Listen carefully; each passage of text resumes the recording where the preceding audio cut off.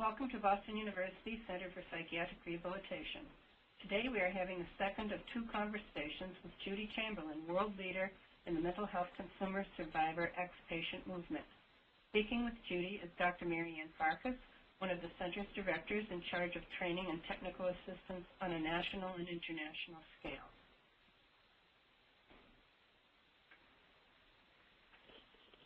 Hello, Judi. Hi, it's great to uh, be doing this. It's wonderful to talk to you.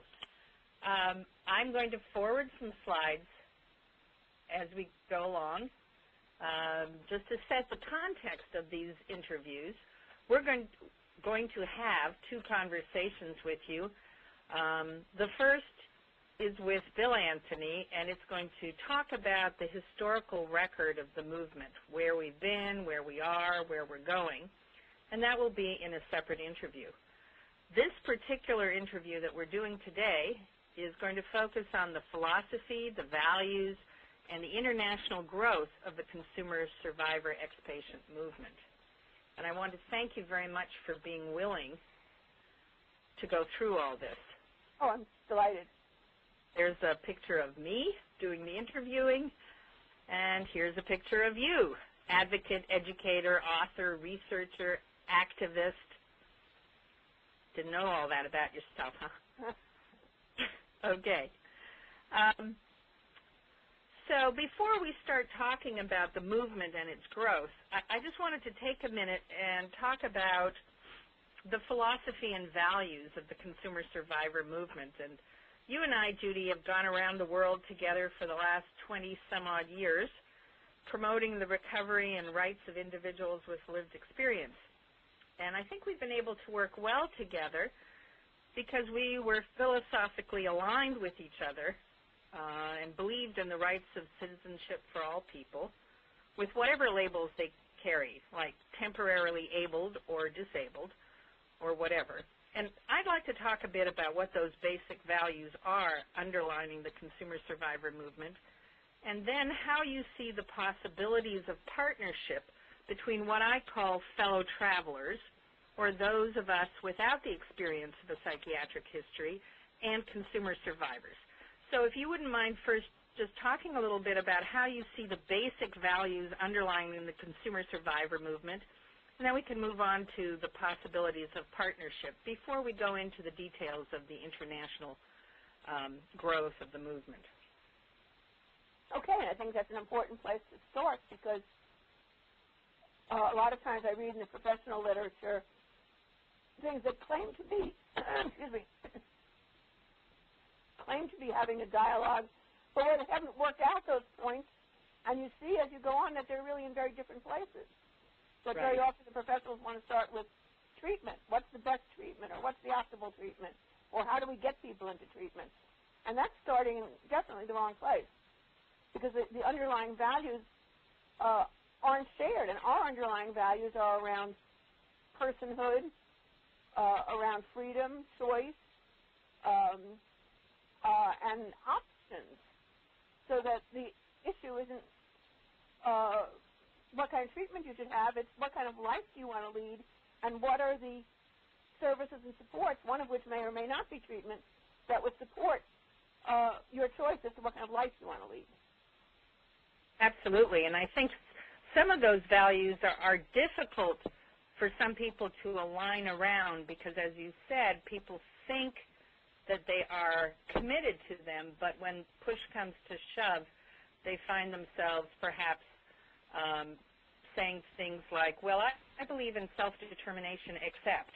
Yeah, this, this particular person in this particular situation. And, and there are certainly times in, in, in, in any kind of organized society that people lose their, their right to make a choice. And, and, and those largely have to do with violating the, the written or codified rules. Uh, unfortunately, in the mental health context, it's often the person has violated unwritten rules.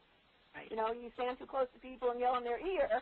You haven't violated a law, but you make a lot of people very uncomfortable. Absolutely, and I think that's why I like to talk about the citizenship aspect because Absolutely. we're talking about the same rights and responsibilities that any citizen that everybody else has. It's not special. It's not different.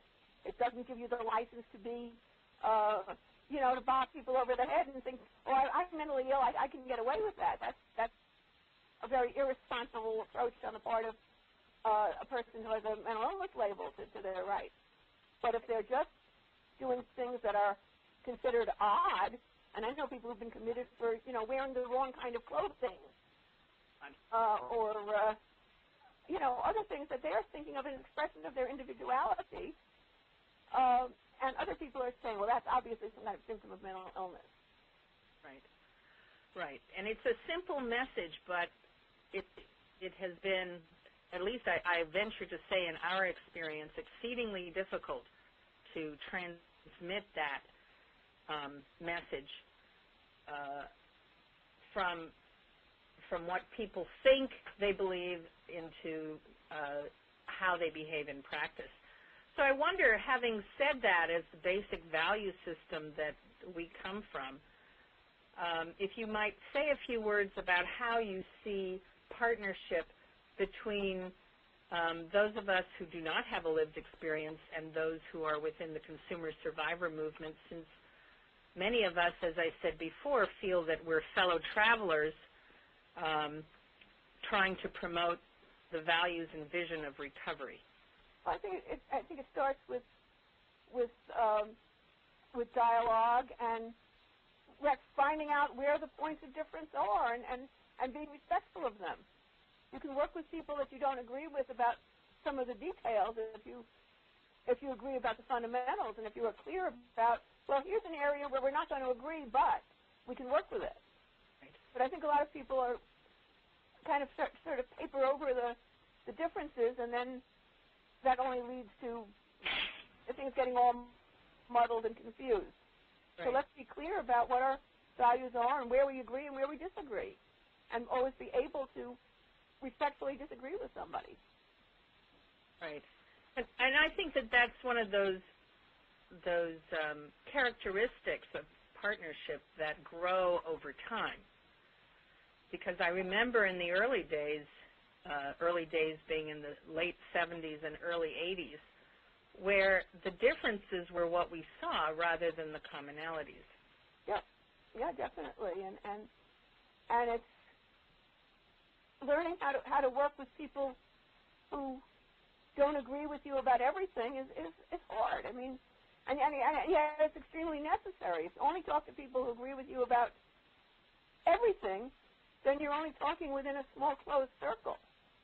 And when you widen the circle and say, well, let's bring in people who don't share all these same experiences but are, are at least striving to develop a common value, um, it's going to be hard sometimes and it's going to lead to a lot of, uh, uh, you know, people getting huffy and people walking out of meetings and people having to learn how to respectfully disagree. Mm-hmm. Much easier, you know, to say, oh, that person's just an idiot and I can never talk to them, and say, well, there's a person who seems to get about 85% of what we're talking about. Let's see if we can work with that and and and and recognize that, you know, there are some differences. I think that's one of the um, advantages that we have when we've worked together over time. It's kind of a maturation process, I yeah, think. development of trust. Right, exactly. Okay. Well, with that as a backdrop, um, as I said, you're going to be talking about how the movement has grown in the United States uh, with Bill Anthony. So I'm not going to go into that with you now. I want to focus more on the movement in the international community. You know, I've seen in my own travels that the belief in citizenship, the access to citizenship, full participation, whatever that means in each and every country, are some of the common beliefs that have allowed us to work across cultural boundaries. So I'd like to ask you how you see the international movement um, at this point? What what is the reach of the consumer survivor movement at a global level, and, and what's been your experience in general? Kind of amazing that we're talking about this right now because uh, uh, I think it's one day later this week. I can't remember exactly that the uh, uh, World Network of Users and Survivors of Psychiatry is opening their uh, international conference um, which has always been held in, in a Western or Westernized uh, society, and this one's going to be in Uganda Wow. and uh, has representation from uh, a number of groups in, in different African countries, uh, and then of course all the countries that we've worked with over the years in Europe and uh, U.S., Canada.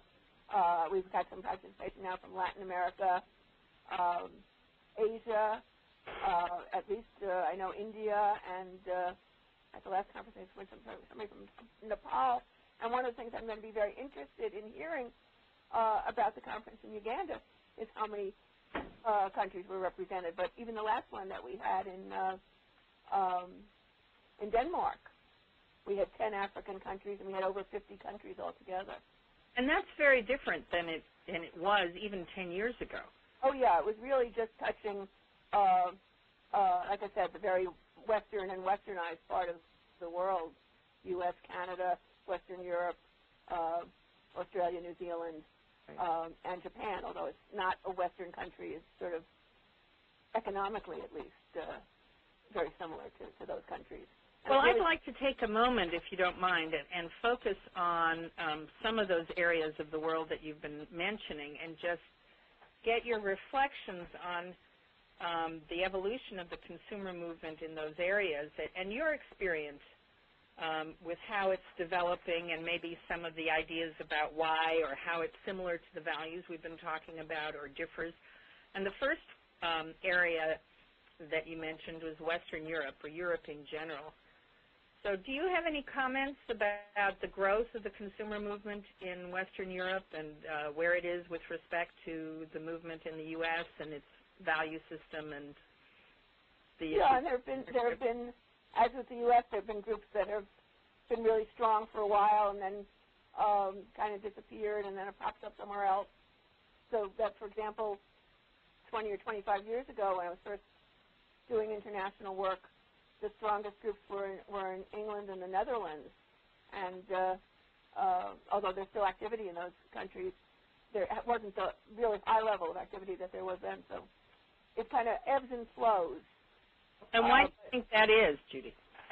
Uh, I'm not sure. I think uh, I think some of it's it's just all of these groups have been, especially when you're talking about groups 20 years ago, very small and either unfunded or underfunded. So a lot of it is they're just burning out key people.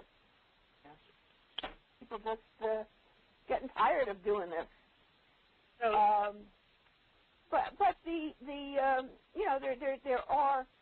Uh, I, I, I'm not don't mean to say that there's nothing happening in, in England and Holland now, because there certainly is. But at one time, those were pretty big groups comparatively. right, they were the uh, leaders. And is the union of, or the network of European survivors still in operation? Yes, it, it's it, the under the uh, organization of the World Network of Users and Survivors of Psychiatry. There is a European network, and there are attempts to develop that regionally for each part of the, of the world. Yeah. The European network, I think, is the strongest one, the one that's been around the longest. Well, when, when you reflect on, on the ebbing and flowing in Holland and England and, and maybe in some of the other countries like the Scandinavian countries where certainly the consumer survivor movement was funded and very codified, unlike um, Holland and England, I Yeah. wonder if you um, can identify any learnings that sort of pop up in your mind when you think about their evolution over time. Well, I, it's been my my experience that not just in other countries but in the U.S. too, that groups can die from too little money and groups can die from too much money. Right. uh, it has to be a sort of a natural, organic kind of growth. You can't go from having nothing to having a budget and hundreds and hundreds of thousands of dollars uh, smoothly. It doesn't Yeah. work that way, and it tends to create, create a lot of um, infighting and sort of, you know, who's got the money and who doesn't. Whereas if it grows sort of slowly and organically, there's a lot more opportunity to build consensus. Right. I've seen recently a lot of sophistication in the consumer movement where they kind of resist the um, attempts by funders to, um, you know, set us all off against each other by coming up with cooperative proposals to share money rather than, you know, we're going to get it so you won't kind of attitude. Right. I think that's a maturity, uh, uh, indication of, of organizational maturity. Right. Um, but I think that, that certainly groups uh, need funding, need adequate funding. Um, one of the uh, things that, that uh, the, the expectation that because, just because somebody's got a psychiatric history, they're going to be willing to work for free or willing to work for uh, meager wages uh, is an indication in itself that we're not taken seriously. Right. And working in any kind of uh, service structure or organizational structure uh, is work. And the society we live in, work is valued with by paying people. well, Uh, if sorry. of course, it runs up against uh, people who are living on social welfare benefits who usually have restrictions on how much money they can earn. But these are all problems that can be worked out. And ideally, you create career ladders where people would get off um, social welfare benefits and be live on a salary like most people do. Right. Um, when you think about the highlights in the European um, consumer survive towards uh, full equality for consumer survivors, are there any particular highlights that come to your mind, victories that were won or um, roles and positions that developed in Europe that maybe didn't in the United States or, or maybe did and just demonstrated that they were transnational? Well, I think uh, some of the European groups have been very successful at using humor as a way of of getting their issues across to the general public.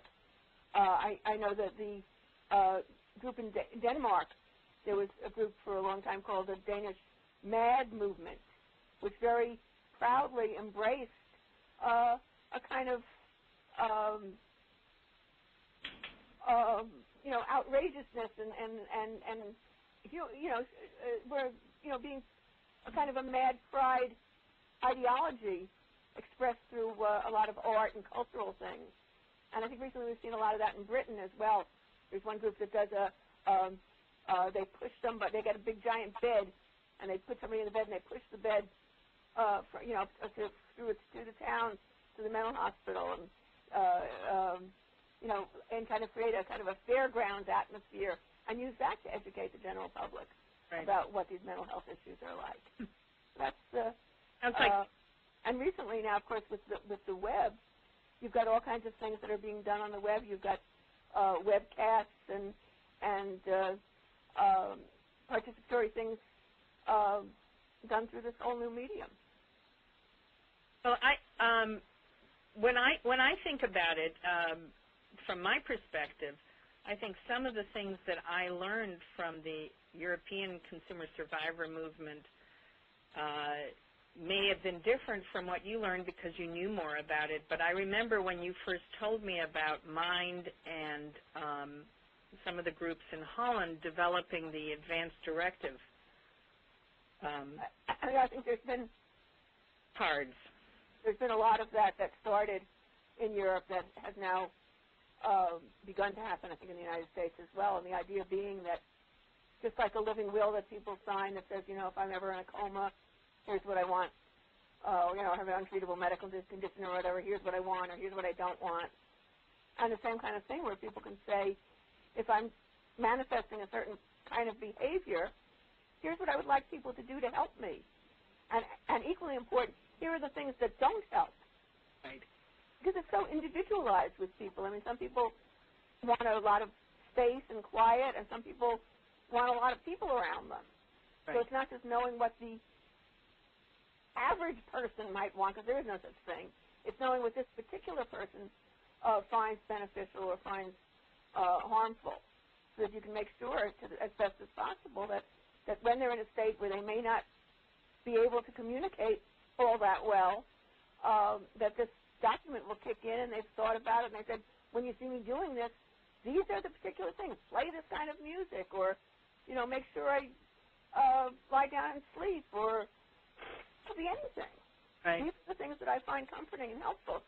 And it may or may not include certain medicines or certain treatments. It may be purely uh, things that can be provided by non-professionals. It depends on the person.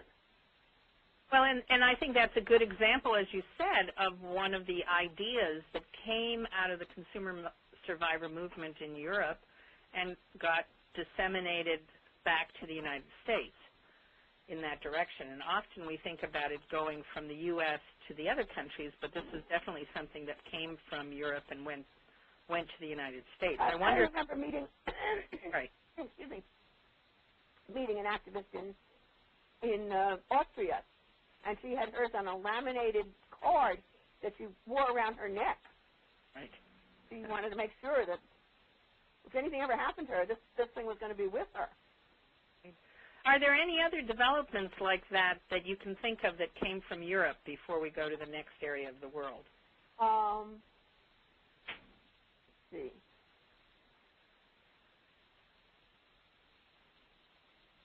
Mm.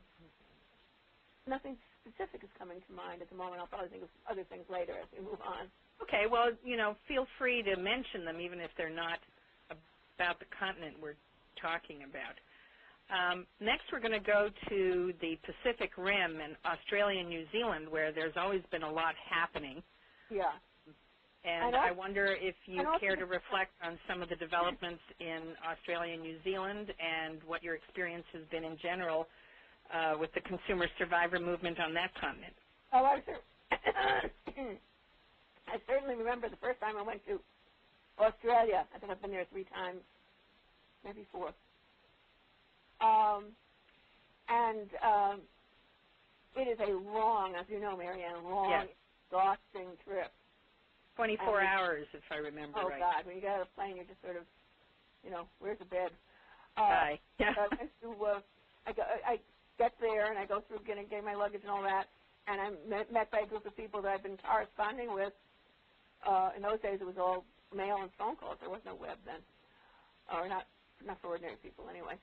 Um, and uh, you know, being just so exhausted, getting into a car, driving toward the city, and after about 15 minutes, we're all just chatting away as if we've known each other, because the the experience of, of, of being labeled with with a mental illness and being subjected to institutionalization and drugging and all of those things is such an amazing commonality, and that that you know societies differ in so many ways, but the way that people experience psychiatry just doesn't seem to differ that much. Any place that I've ever been or met anybody from, it creates this instant bond because you start talking about your experiences and they're they're the same.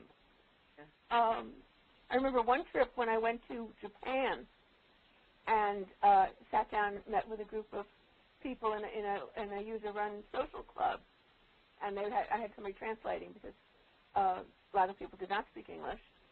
I, of course, don't speak any Japanese. Um, and uh, what they said was that when when we go into the hospital here, it's very hard because we're just not regarded as people, and nobody listens to us, and nobody respects us, and we can't get the simplest things we ask for because we're just not taken seriously. Uh, and in the structure of Japanese society, that's very common for a lot of people to feel in a lot of different things. Japan is a very authoritarian, top-down kind of society where people are kind of expected to do what they're told. Uh, very conformist, very, um, you know, people wanting to be like everybody else. Uh, and yet, you know, that that was this overwhelming experience that they had. So it's you know apparently even more so uh, in a society that values conformity. Even more so when you become a psychiatric patient. Right. And then Well, the that's both that's both the heartening and the disheartening. Yeah, but then the next country I was in was Sweden, which is, you know, you think of as the absolute polar opposite of Japan. Country that's very uh, egalitarian, at least in its um, social um, Social structure. the, the, the image that they want to put forth of them for themselves is, is that they're, you know, everybody's equal, nobody, um, very flat kind of hierarchy. Uh, so I sat down with a group of Swedish patients in a hospital, actually. And what did they start saying? They said, when we're in the hospital, we can't get what we want because nobody listens to us, nobody respects us, nobody takes us seriously. Right. like the exact same words. And it was just so incredibly striking because here's these two societies that are so different. And here were people experiencing the psychiatric system in those countries in exactly the same ways. Well, as I was saying before, I think one of the things that's made it a little easier, both in a heartening and disheartening way, for you and I to go around the world and talk about recovery and try to promote the implementation of some practices that we think affects recovery is exactly that. You know, people say to me, "Well, how how do you have the nerve to go to you know such far-flung places as Singapore and Europe and um, Australia?" And I say, "Well, because there is this commonality, just as you're saying. People, despite the cultural differences, have a very shared experience of what their life has been like as a psychiatric patient." Yeah, and it, it, it just it just is so amazing that that it it just really seems to to have been grafted onto culture, very different cultures in exactly the same way. Right, transcendent. But if you think about Australia and New Zealand, um, and you'll see on the slide there's a picture of Mary O'Hagan, I wonder if you can talk about what you think are some of the advances that Australia and New Zealand have contributed in the consumer survivor movement. I think they've done a lot of work with uh, uh, with drop-in centers and, and uh, client-run services. And they've also done a lot of work with people um, actually getting roles in the mental health system. Mary O'Hagan was was uh, on something called the Mental Health Commission, which is with with the language kind of got was hard to translate into our context because when we say mental health commissioner, we mean the person who runs uh, a mental health system. But the Mental Health Commission in, in New Zealand was, I think, three people who kind of had general oversight uh, responsibility, uh, uh, uh, kind of an ombudsman's kind of function, I guess, huh. would be the closest thing to do it, to, to, to it. Um, and so, and pe- people taking on not just roles that were niche roles for, for let's, let's hire a, an ex-patient over here, but actual roles that could have, could have been filled by other people who didn't have the lived experience. Um, uh, Chris uh, Hansen in right. New Zealand um, uh, was part of the official delegation of the of New of the New, New Zealand government to the negotiations on the United Nations Treaty on, on rights of people with disabilities. Uh, so, not again, not just you know fit, fitting in these sort of extra roles and saying, oh, let's hire an ex-patient over here, which often falls into this sort of isn't it, aren't we wonderful and progressive. We have a uh, we have an ex-patient working for us, but they're not part of the whole system. They're sort of off in a corner somewhere. Right. And what do you think it was about Australia or New Zealand that contributed to that level of progressiveness? I think I think those are also societies with pretty flat hierarchies mm-hmm. and kind of a very down to earth uh, uh, general societal mores are very much, you know, kind of practical and down to earth, and we don't put on airs. That's that's kind of the Australia and New Zealand uh, uh, persona. Of course, it happened in New Zealand, and I don't believe it's happened yet in Australia, or has it? And I didn't know. Uh, to a certain extent, um, I think I think uh, it's happened more in New Zealand than Australia. Right. And a lot of it's because New Zealand's smaller. right. Smaller Uh, but city, I- more tight knit. Yeah. But I think that the last time I was there was what almost two years ago now, and uh, uh, there was certainly a lot of excitement around different funding decisions that people were expecting to come through that were really going to fund things on a meaningful level, not just little little drips and drabs of money, and people being actively involved in um, helping figure out where the money was going to go and. Um, I saw a lot of a lot of excitement when I was Excitement about the level of responsibility and the impact right. that That's. Right. Things were poised to take off in a lot of different places. Uh huh. Now, on the Pacific Rim, and we don't have a picture about that. I know that you've already you've also been to countries like Indonesia and I haven't been to Indonesia. The only places I've been are Hong Kong and Japan. Hong Kong and Japan. I thought you'd been to Indonesia, or maybe you just had contact with them. we had we met those people from Indonesia that came and gave us all that nice stuff. Oh, that's right. How could I forget? Yeah, all those nice. Uh, Yeah, uh, no, it was wonderful of them. But for some reason, I thought that you went. facts and things. Right, Yeah. exactly. Well, you've spoken a little bit about the movement in Asia. I wonder if there's anything else that you would like to say about China, Hong Kong, Japan. I've since met a few of the activists from India. Uh, I haven't been to India, but uh, in India, uh, they sort of face two problems, and one is that there is some of the worst of Western mental health in the form of large congregate hospitals, but the other of which is this that there's this reliance on um, folk healing and stuff like that that a lot of people in the West tend to romanticize, but what one of my Indian colleagues told me is often unbelievably horrible, and people people getting sort of chained to trees and left there. Huh. So that we have to be careful not to put our romantic Western eye and say, oh, if you just make everything go back to traditional healing methods, everything will be fine. Right. Um, and she said that families will turn people over to these um, shaman, or I don't know what the word is that they use there, and there's no legal oversight over it, and Hmm. awful things have happened. Right. So, so you kind of have to keep your eye on both of those things. The But simple lack of hospitals, which sometimes we take to mean a progressive society, doesn't always mean a progressive society. Right. A progressive response to mental health services, at any rate. Yeah, and and and, and that she said that really awful things go on in these informal settings that there's no real oversight. Now, um, and and what what would you say is the strength of the consumer movement in Southeast Asia than India?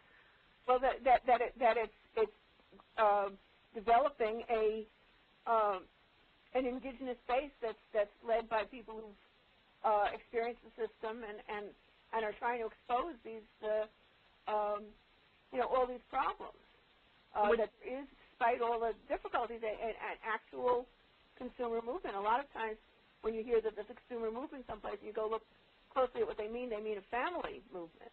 Right. And there certainly is a family movement in India, but there also is a, a movement of people who've had the labels themselves, um, and they're doing, uh, I don't know exactly what they're doing, but I know that I got some of their newsletters and stuff, and they are they are trying to grow these organizations and and, and develop a uh, a presence so that that they're again the the, the first issue always is to be heard, to be taken seriously, Right. become part of the discussion. to be present at the table. Absolutely. And you you said uh, a few minutes ago that you have been to Hong Kong, And, that was only one. That was only one trip. Uh-huh. Uh, Do you have contacts um, with folks? I haven't maintained ongoing contacts there, so I don't really, I don't really know. And and you know, the further a society gets from, it's hard to go to a place like, and you know this, Marianne, from being there a million times, Sweden, which Right. you think we we could get our heads around. Right. It took us trouble long. we have understanding how society works. Right. Uh, so a place like Hong Kong, I think unless you spent, uh, or, or many other places that are so culturally different from us, I think unless you spent a real lot of time there, it's kind of presumptuous to uh, uh, to draw any conclusions. But I did find that there were uh, people who, who, you know, organizing uh, self-help groups and things like that. Well, I uh, think were that's very excited uh, by the things I had to say. I think that's the important point, Judi. That even if we don't know a great deal about these uh, groups at this moment, we know that they exist. Exactly. And that- there was a time not so long ago when uh, there were very few and far between. Right, and then when you, and then when you talk about what their ideas are, their ideas just seem to mesh real well with what groups are doing in other parts of the world. Well, let's end end this sort of uh, whirlwind tour around the world with uh, some of the developments in Africa. Do you want to say anything about um, the growth of the consumer movement in Africa? Yeah, I know that the, when we had the the World Network meeting in uh, uh, in Vancouver, and that's got to be I don't have the dates in front of me, maybe seven years ago or something like that. Um, I think we had 10 countries all together. When we had the World Network meeting in, in, uh, in Denmark, and that's, I guess, something like three years ago, uh, there were 50 countries, 10 of, 10 of them in Africa. And now the, this meeting that's just going to be starting next week uh, is in Africa.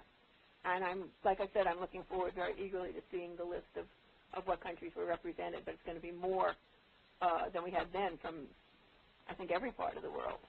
A real exponential growth. It really is, and really, you know, gives, gives uh, uh, uh, shows that this is not just a um, Western rich country idea. Right. It's growing organically every place. And I get the impression, I don't know about you, but the, that the um, growth of the internet and access to technology has really helped that. Oh, no, there's, there's no question. There's no question, but that's, that's helped.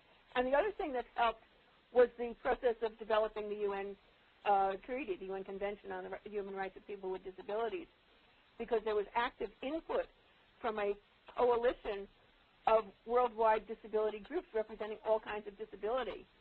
And that group um, was an opportunity for people with psychiatric disabilities to be seen as equal to people with other disabilities in, in speaking for ourselves, representing ourselves, and also served, I think, as a, um, I think there were three different meetings over three years for, with, that the General Assembly was meeting to talk about this issue, and that this co people would come together in, in New York from different countries to work on it. And it really led to a tremendous uh, uh, um, uh, increasing understanding on part of all the different disability groups what other disabilities we're dealing with, and a real um, and in a lot of I've noticed in a lot of the African countries, the uh, ex-patient groups often seem to be developing as allies or part of or segments of uh, an overall disability movement, which I think is a much more natural home than to develop out of a um, psychiatric reform movement led by parents or professionals, which is what has happened in a lot of Western countries. I think those groups have a lot more trouble really becoming truly independent Do you want to say a few words about why you think that's so? because I think Well, we haven't had a chance to think about the implications of the growth of the movement through cross-disability efforts. because when, when, when you're growing in a cross-disability context, everybody shares the experience of being seen um, as a person who is lesser than the norm. Uh, and some of the discrimination that goes on in, in against people with physical disabilities in, in, in many parts of the world that I learned about through going to some of these UN meetings, it's just frightening. I mean, people whose um, births never get registered so that they don't officially exist, Oh my God. therefore, you know, can't get any kind of services because they don't exist. Oh. Um, and a, a sort of uh, reluctance on the part of some societies to acknowledge that that they have these kinds of problems by not registering the birth. Oh. Or in, or in, in Eastern Europe, where um, all the countries that used to be communist, part of the communist ideology was that basically the disabilities didn't exist. So they would build these institutions where people with all kinds of disabilities, physical disabilities, mental retardation, mental illness, whatever, were just sort of thrown in, and they were always built way out near the border of the country, like, let's push this as far away as we can. Right. Now, and how do you think that that, you, you said that you thought that that was an easier um, platform to begin with When than starting in the mental health world um, as a, a family organization or a mixed organization. Yeah, when people are organizing around, well, we've, we've been discriminated against. Uh, we've uh, we've experienced this uh, uh, institutions. We've experienced not being able to get um, education or being restricted in, in our citizenship rights, like the right to marry. Um, there's a strong commonality there, and people see this as a the necessity to fight this as a human rights problem. Whereas if you if it grows out of a sort of let's make mental institutions better uh, kind of ideology, which is often started by progressive professionals and family members, it's very hard sometimes for the people who've actually been patients to break free and, and, and be just more than just sort of an adjunct to that to that uh, uh, kind of organization, which isn't primarily based on rights; it's based on services. Right. And the, the roles are different too. They're perceived in, as being in different roles. Absolutely. Right. That's why that's why I think the uh, uh, the model that that that uh, has psychiatric disability as as in growing in coalition with people with other disabilities is a much more sustainable model, and that seems to be what's happening certainly in Africa. Well, we're coming to the end of our time together, Judi. I wonder if you have any final thoughts or lessons learned from Yes, make um, me helping to I am make. in these slides. Pardon? I said yes, make me as young as I am in these slides. well, it does say making a difference. but if, Uh, if you were to give some advice to people who are in countries perhaps where the consumer movement is not yet strong or where people are thinking about developing the consumer movement, whether they or helping to develop a consumer movement, whether they are a fellow traveler such as myself or a person uh, with a psychiatric history themselves, do you have any um, Yoda-like words of wisdom? Well, I would certainly say you mentioned earlier about the web, but use the web. Get in touch with organizations like the World Network of Users and Survivors of Psychiatry um, or uh, Mind Freedom International, uh, and we can provide the web addresses, I'm sure. Um, and, you know, link up with what's happening and, and, and use this incredible medium that, that lets us communicate so easily, which we certainly didn't have in the early days. Um, work with a core group. This is something that you need um, at least, I would say, uh, half a dozen people or so, uh, not just one person because they're going to burn out. Um, uh, work on the issues that are most pressing in your particular uh, area or region, or um, and and the people who know that are people who are living it. There's no there are a lot of places you can take a bite of the apple, and there's no one right place. The right place is what's what's the most pressing for that particular group of people. It's all it's all the same apple, but but we grab onto it in different places, and that makes Right. a lot of sense. Uh, and the issues that are important to people are issues that will make people feel passionate and make people want to do this kind of work. Uh, because it's about it's about the issues are about improving their own lives and improving the lives of people like them. And for those of us, as I said, who are fellow travelers committed to the overall mission of recovery, what advice would you have for us to be Uh, supportive as possible? be helpful, but not too helpful. do it. You know, give give support. Come in with an attitude. What can I do as a somebody who hasn't had this experience to be helpful to you, rather than here's what you should do. Uh, provide practical support. Sometimes people need help with a place to meet, or uh, uh, photocopying, or um, snacks for a meeting, or you know those kinds of very practical things. Um, offer your expertise, but don't expect that um, you're going to be the, the leader or the group is going to do what you want it to do, because um, that's not your role. So be supportive and get out of the way. Exactly. Uh, and on those uh, words, I'd like to thank you very much for spending the time today, sharing your thoughts and ideas, Judi. I've enjoyed it, and I think this is uh, a topic that needs to be needs to be looked at because uh, with all the changes in the mental health system over all the years that I've been doing this, I still see too many people who are uh, not don't not given a real chance for recovery by the system. So my hope is that if we get together again years from now and have another conversation like that, we will be able to say, and that has changed. That would be very nice. Okay, well, signing off now. Okay. Uh, I'm Marianne Farkas at the Center for Psychiatric Rehabilitation at Boston University. Thanking Judi Chamberlin for her time and thanking uh, NIDRR and the Center for Mental Health Services for their support for this interview. Goodbye.